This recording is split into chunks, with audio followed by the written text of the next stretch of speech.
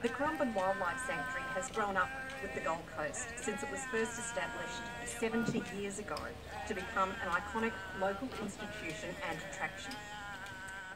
The sanctuary has continued to evolve since it first opened as a bird park in 1947 and today's launch of the new Indigenous education space continues that tradition.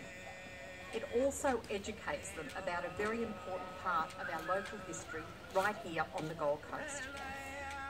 This event continues the National Trust of Australia Queensland's commitment to its mission to promote and increase the recognition of our cultural and natural heritage